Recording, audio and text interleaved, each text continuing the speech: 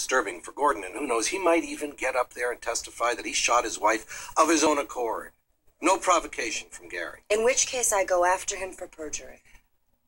This really is not about threats. I came in here to make an offer.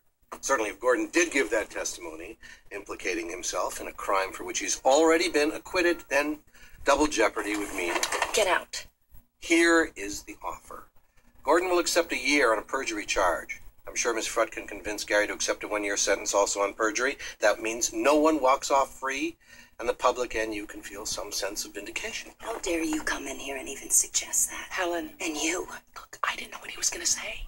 He's the guy you want. A year is better than nothing. Your guy's getting life, Eleanor. Life. As for you, I'll figure something out. You're not gonna figure Get it out, Mr. What? Hunter. I am making an offer. I said get out.